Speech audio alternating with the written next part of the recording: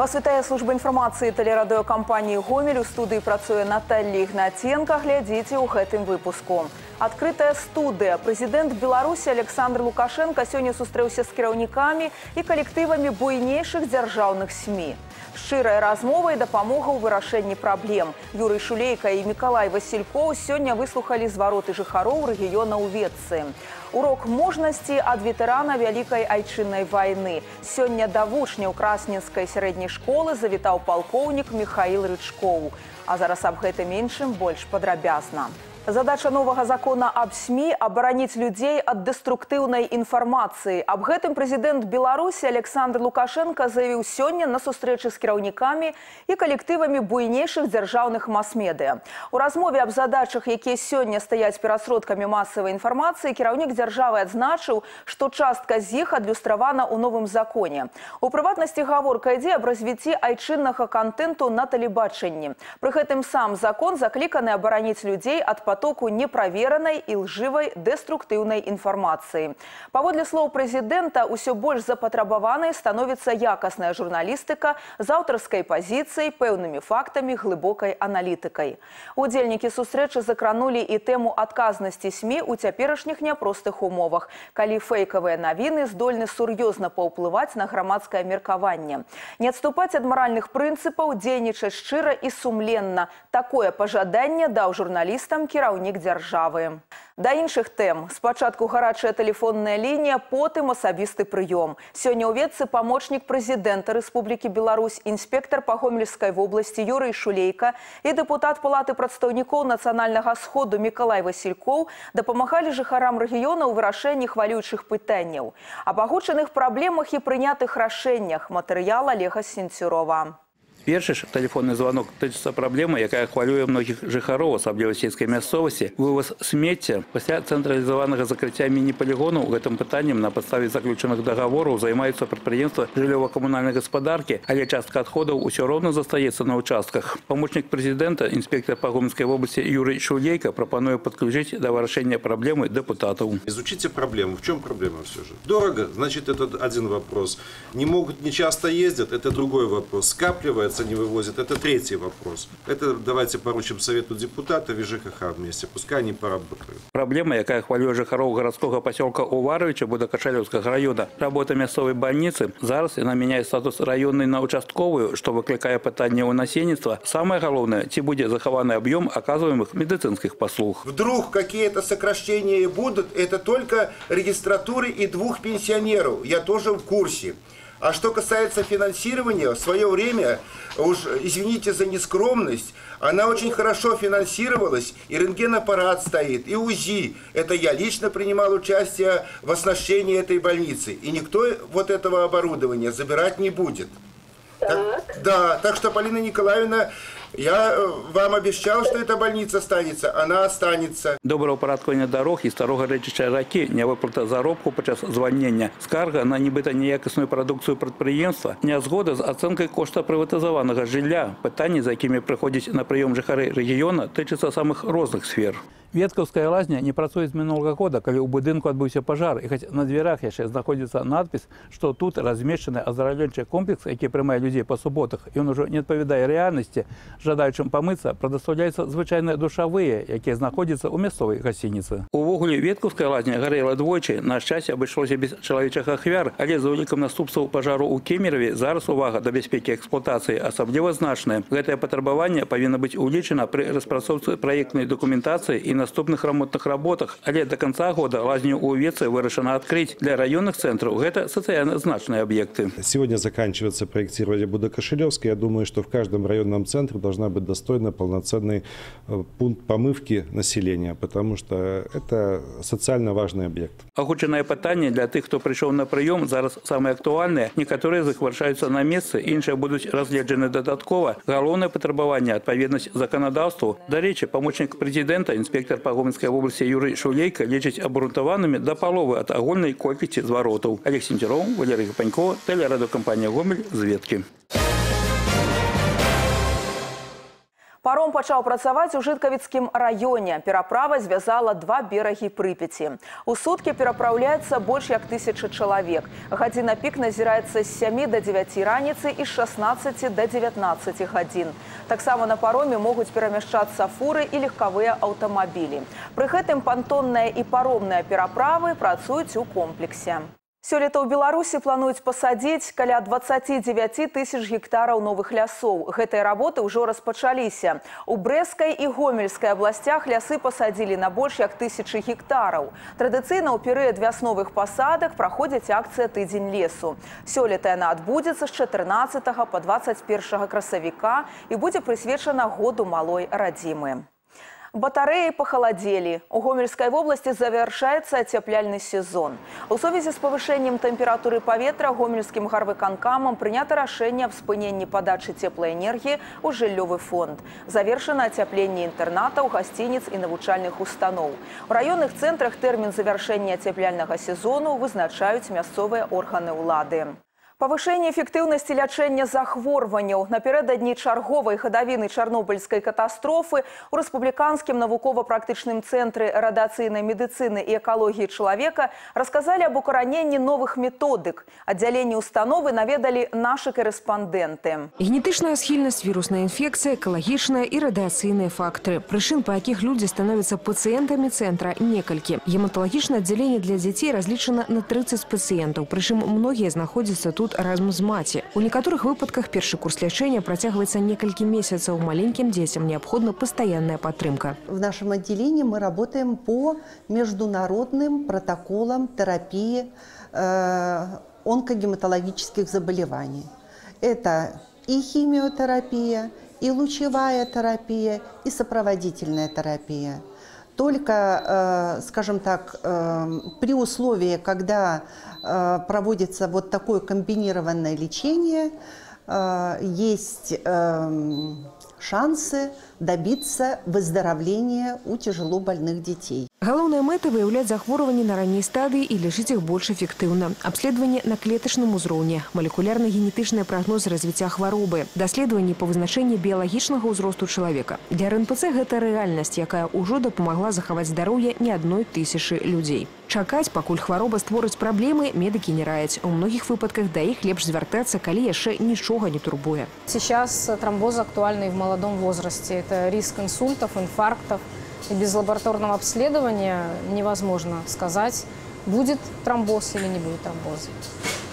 Пациенты должны обязательно проходить э, целый спектр исследований. Ідэя будаўніцтва ў гомелі рэспубліканскага навукова-практычнага цэнтра радыацыйнай медыцыны і экалогіі чалавека ўзнікла ў 1990 годзе, але для яе практычнай рэалізацыі спатрэбілася амаль 15 гадоў. Сёння цэнтр не толькі вядучая установа па аказанні спецыялізаванай дапамогі насельніцтву і навуковым забеспячэнні дзяржаўнай чарнобыльскай праграмы. Тут укараняюцца новыя сучасныя тэхналогіі лячэння і праводзяцца ўласныя даследаванні па актуальных пытаннях развіцця медыцыны. Толькі ў мінулым годзе паслугамі цэнтра скарысталіся грамадзяне России, Украины, Казахстана, краін Балтии и Евросоюза. Такой симбиоз, когда идет и прикладная медицина, и плюс еще теоретические знания, они, конечно, делают центр узнаваемым. И если анализировать 2017 год, то у нас э, в центре пролечилось пациентов из 20, более чем 23 стран мира. Алиса Сюрова, Ольга Коновалова, Евген Макенко, телерадиокомпания «Гомель». Дарэчы, заўтра дырэктар рэспубліканскага навукова-практычнага цэнтра радыацыйнай медыцыны і экалогіі чалавека Александр Рашко стане госцем інтэрактыўнай праграмы дыялог. Яна выйдзе ў эфір на тэлеканале Беларусь 4 гомель у 19 гадзін 20 хвілін. Свае пытанні госцю праграмы вы зможаце задаць патэлефанаваўшы па нумары прамога эфіру ў гомелі 34 2043 ці з дапамогай вайбера. Далучайцеся. Сёння прадстаўнікі гомельскай раённай ветэранскай арганізацыі ўнеслі карэктывы ў расклад заняткаў навучэнцаў красненскай сярэдняй школы.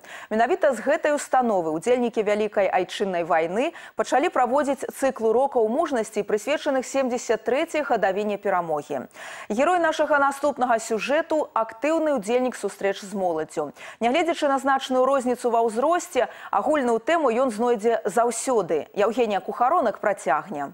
Михаилу Дмитриевичу Рычкову 94. Нягледзячы на ўнушальныя лічбы, гэта статны мужчына з аптымістычнымі поглядамі на жыццё. Свой ваенны і педагагічны вопыт ён з вялікім жаданнем перадае маладому пакаленню, лічыць патрыятычнае выхаванне асновай мірнай будучыні на зямлі. І тут нельга знайсці нешта лепшае за асабісты прыклад. Лёс Михаила Дмитриевича нялёгкі, аднак яму ў жыцці нярэдка шанцавала нават падчас удзелу вялікай айчыннай. А пачалося ўсё ў далёкім 1924 годзе у вёсцы Давыдаўка, что в Вологодской области России. Деревня, где я родился, там только медведи да волки ходили, да и я.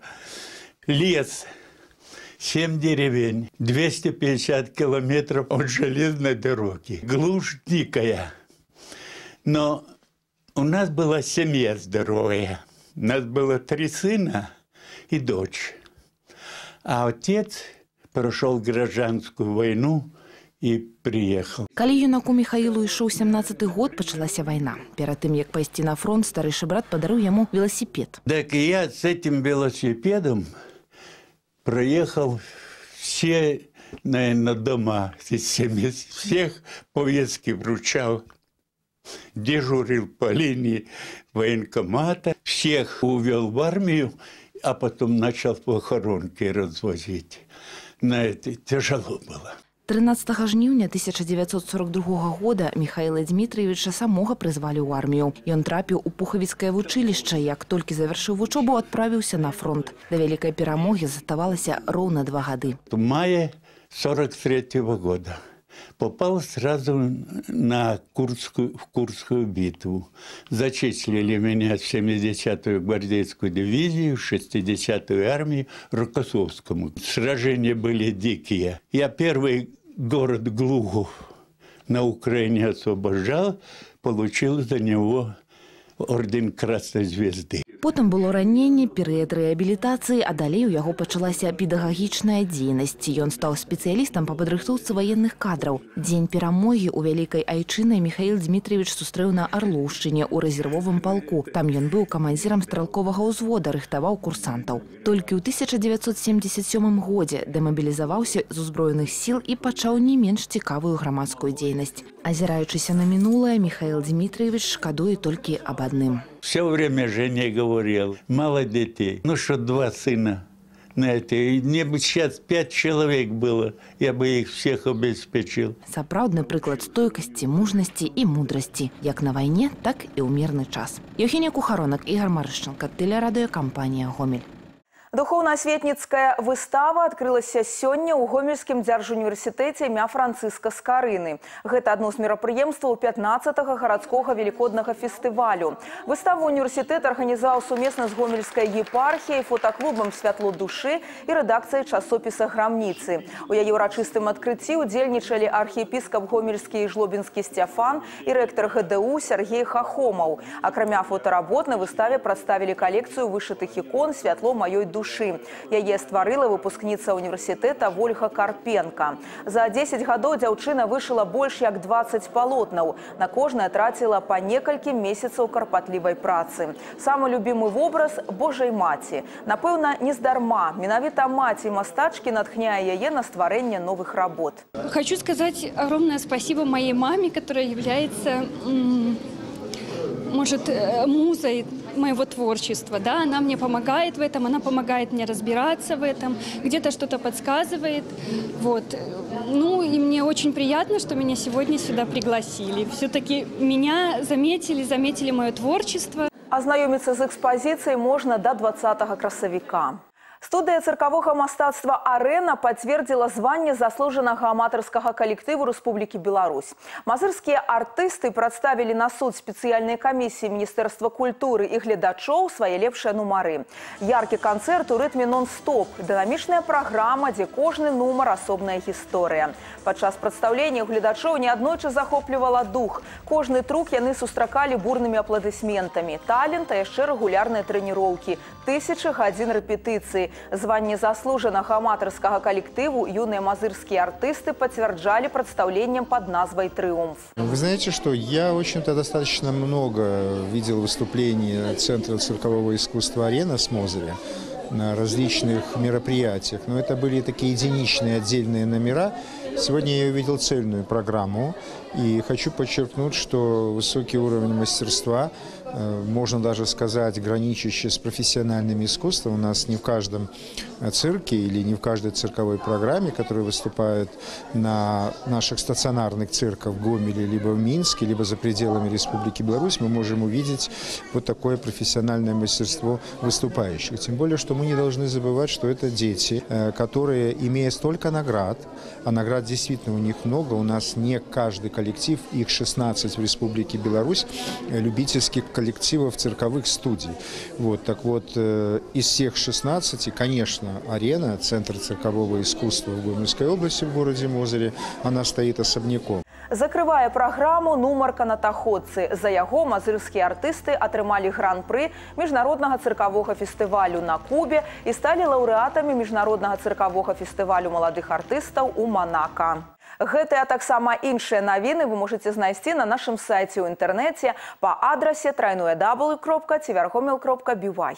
Далей у эфіры дэ-факта і спартыўны агляд, а я з вами развітваюся. Усяго добрага і да новых сустрэч у эфіры. Эфир телеканала «Беларусь-4» продолжает де-факто в студии Алексей Немкевич. Здравствуйте. Полторы тысячи долларов – цена незаконной перевозки в Гомельском районе. Сотрудники ОБЭП и налоговой инспекции в ходе совместного рейда остановили грузовой автомобиль, в котором находился лом черного металла. Организовал рейс предприимчивый местный житель, хорошо знакомый сотрудникам правопорядка по аналогичным нарушениям. На этот раз фура следовала в Россию окольными путями через Будокошелевский район, но навариться на грузе у владельца не получилось. Скупая лом по цене ниже рыночной, торговцы металлом зарабатывают немалые деньги. С одной такой машины машины может выйти до 1000 долларов навара. А если бы в кузове находился цвет мед, то доход смело можно умножать на 30. Участников рынка нелегального экспорта сдерживает только конфискация авто и штрафы, которые доходят до 50 базовых величин. Данный лом металла оценен в полторы-две тысячи белорусских рублей. Э, в отношении данного человека сотрудниками э, МНС по железнодорожному району города Гомеля. Э, после проведения проверки будет составлен протокол по части 1.1 статьи 12.7 КОАП Республики Беларусь. В Мозыре сотрудники МЧС оказали помощь мальчику, который защемил в двери пальцы. Рука ребенка оказалась зажата между дверной коробкой и полотном двери. Спасатели воспользовались специальным инструментом, отжали двери и освободили руку потерпевшего. Обошлось без серьезных повреждений. Сотрудники ГАИ провели еще одно массированное спецмероприятие. На дорогах Гомельской области они устроили фильтр для автомобилистов. В течение получаса инспекторы останавливали автомобили и проверяли у водителей документы. Цель фильтра – повышение дисциплины участников дорожного движения, выявление нетрезвых водителей и иных правонарушений, а также их предупреждение. За время проведения мероприятия 11 автолюбителей было привлечено к административной ответственности за, за управление механическим транспортным средством в состоянии алкогольного опьянения. 17 водителей не имели права управления, а также 5 водителей было привлечено по статье «Непропуск пешехода», не предоста... точнее, не предоставление преимущества в движении пешеходам на пешеходных переходах. Таков обзор происшествий к этому часу. Оставайтесь с нами. Я Алексей Немкевич. Благодарю за внимание. До свидания. На телеканале «Беларусь-4 Гомель» новости спорта в студии Максим Савин. Здравствуйте. Стартовал чемпионат Беларуси по футболу в первой лиге. Во втором по силе дивизионе выступают четыре представителя Гомельской области. В первом туре матчи проводили три команды. Гомельский «Локомотив» стартовал с домашнего поражения от футбольного клуба «Орша». Новичок первой лиги Житковический ЮАС разошелся миром с Микошевическим «Гранитом» 0-0. Мозырская «Славия» и футбольный клуб «Чисть» также победителя не выявили. Правда, ничья Ничья получилась результативная 1-1. Светлогорский «Химик» первый тур пропускал. Матчи второго тура пройдут 14 апреля, а «Локомотив» на выезде играет с чистью. Светлогорский «Химик» и «Славия» сойдутся в очном поединке. ЮАС второй тур пропускает.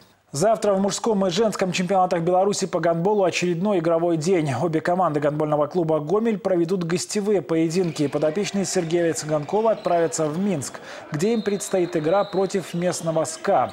В турнирной таблице армейцы располагаются на второй позиции, гомельчане на третьей. Женской команде предстоит вояж в Витебск. В гости подопечных Томажа Чатера ждет местная витебчанка. В табеле о рангах «Гомель» на данный момент делит первое место с БМТУ «Белаз». При этом у минчанок одна игра в запасе. Витебчанка замыкает сильнейший квартет. Продолжаются баталии в женском баскетбольном чемпионате. Баскетбольный клуб «Гомель-Сош» на своем паркете сыграет со столичными «Цмоками». Поединок пройдет на арене Гомельского дворца игровых видов спорта. Начало в 17.00. В предыдущем туре гомельчанки потерпели поражение команды Сергея Кулешова. В Гродно ничего не смогла противопоставить местной Олимпии 46-76. Турнирной таблице «Сош» занимает четвертое место и замыкает сильнейшую группу. Гомельчане отправятся на Кубок Европы по дзюдо среди юниоров. Турнир 14 и 15 апреля состоится в Санкт-Петербурге. В ростер белорусской сборной попали три спортсмена из нашего региона. В турнире девушек выступит Ульяна Миненкова и Виктория Новикова. Обе представляют областной центр Олимпийского резерва единоборств. В мужских состязаниях за награды поборется Артем Васильев. Он воспитанник с Дюшоргом Сельмаш. На этом пока все. С новостями спорта вас знакомил Максим Савин. Оставайтесь на Беларусь 4.